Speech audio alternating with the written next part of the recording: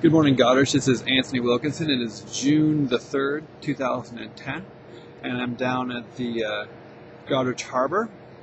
Um, you can uh, look behind me, you will see the return the Goderich elevators, and this is the uh, in- internal harbor here, and then you'll see the uh, roadway leading up to the Sifto plant, or Sifto mine, I should say, and you'll see some trucks, and you'll see, of course, a line of rail cars heading down there to Lake Salt. Just on the other side, I don't know if you can make it out, is, uh, is the marina. And t- this morning, I'd like to talk to you about doing what you do and how to be effective at at uh, at your business, and a couple cautions and a couple recommendations. When I say do what you do, for instance, if you make a product uh, and that's your level, level of expertise and that's your you know that's your greatest skill uh, you bring to the company, you need to focus on providing that skill as much as possible. And what I mean is that, um, you know, locally, I mean, we're in Huron County. There's a lot of uh, a lot of companies that have people in multiple roles, and it's kind of by necessity. Uh, people have to do more with less resources. Uh, companies can't afford to have like uh, separate payroll items for every area of specialty. So there's a lot of people that you know that work kind of these slash positions. And a lot of times, um, I work with these companies and I try to, you know, as I work as a consultant, I try to kind of eliminate one of the slashes from someone's position to free them up to really do what they do best. Uh, and I just like to talk about sort of in businesses, you know, how do you go about bringing in that expertise, and where is the best fit?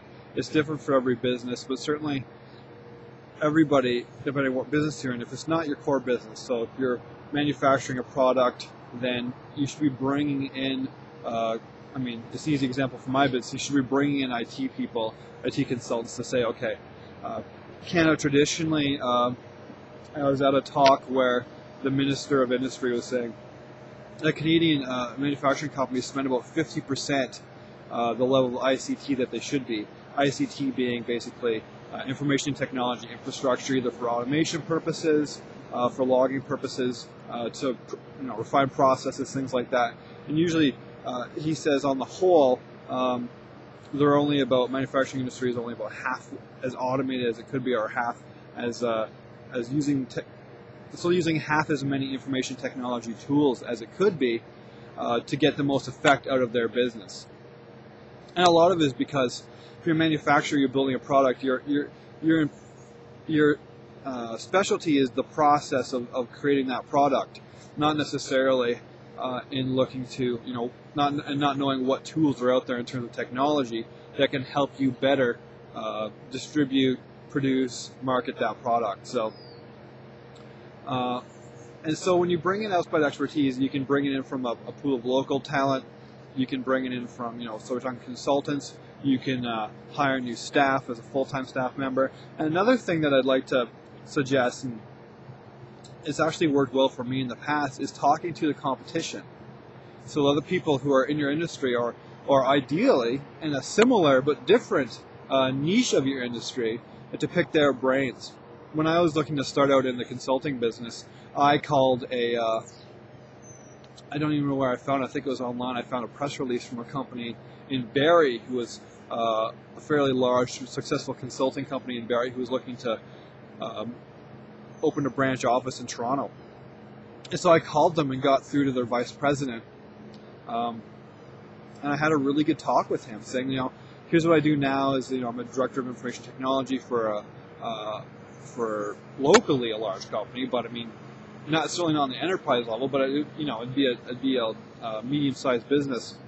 I said, how do you run your business? What sort of things are you looking to do? What, uh, who do you target market? Who, what's your sort of target labor rate? Uh, who are you looking to hire for staff? What's, you know, what are the biggest problems you're facing?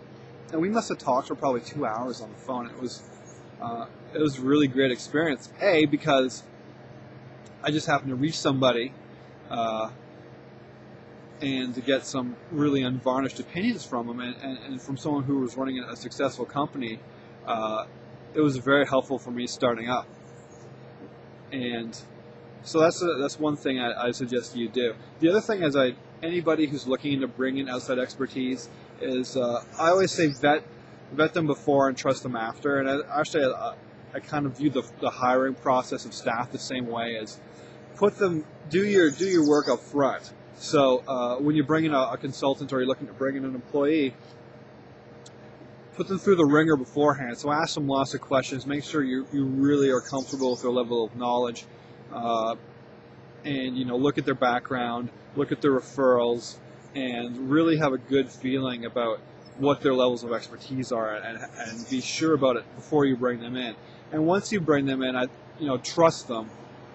And I know that's a, maybe a, a people are going to frown at that, but trust them as much as possible anyway, without you know without signing over the business. But uh, designers, a, a, group of people who I have just the, the total respect for, uh, graphic designers, uh, even product designers, always struggle with this.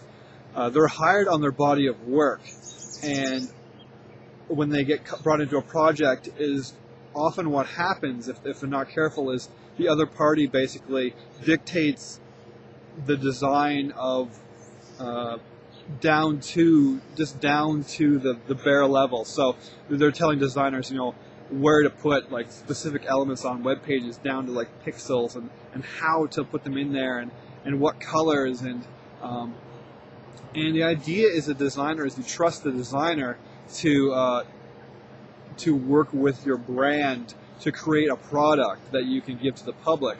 Um, the designer isn't there to steer the mouse while you kind of like hold the back of their head and move them around. It's they're not like a remote pilot mechanism for for Photoshop or what have you, and you have to be careful about that situation. So that's all I can really say about that. I mean, uh, talk to any designer and they'll probably go on at length, but certainly in my experience in the web world, uh, uh, building projects is the best product and the best results have been where the client has allowed you to to kind of stretch a little bit. You're staying within their brand. You're working with the client, not going and building something they don't want. Um, but certainly in terms of visual design, it's you know they can look and go, yes, I this is I know automatically this is this company that we're dealing with. This is this brand we're working in. But you're allowed to work within that envelope and create an exciting product.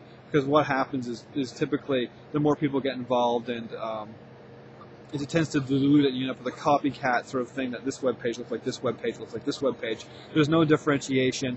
Uh, and it's really it actually ends up weakening your brand overall. And I like to put that onto the onto the flip side, and that is the you know if you're looking if you are an expert and you're looking to get out there and, and help companies, um, it's also important to vet the clients you're going to work with, and that if they're they're going to grill you and they should be grilling you, and you should be asking them questions back to just make sure there's a fit to get up front, you know, how you like to work, how they like to work, and is that, you know, is there a mesh there? Can you both compromise? Uh, by compromising, can you both work together to, to get a project done? And will the client respect your expertise? Um, and one, the best way to demonstrate expertise as well is creating little video blogs. Good morning. and um, and, and put some knowledge out there either through writing articles, creating videos, uh, and it's easy for to act as, you know, it's easy. I can't get out there and pitch as many people as I'd like to, and I can't get out there and talk to as many people as I'd like to because I, I, mean I really enjoy doing that. Um, but by creating a, you know, a series of videos or by creating a bunch of, you know, articles, uh, podcasts, things like that, and putting them out there, people get a good idea of who you are, what your expertise level is, and probably what you like to work with. And so that's a great way uh, to a have more visibility, b give clients some comfort in terms of this is what this person is like. I mean, we can always you can fake it, but you can't fake it forever. Um, and see if you know your clients will know also if you're a good fit for them and maybe you're not. And that's also very beneficial. You don't really want to get into one of those relationships where you're trying to satisfy somebody who you both have completely different objectives. So anyway that's my little talk for this morning. Thanks for watching. I hope to hear from some comments. You know let me know if i'm off base or let me know if if uh, you know what i'm saying has worked for your organization or business. And i hope to hear from you soon. Good morning Goderich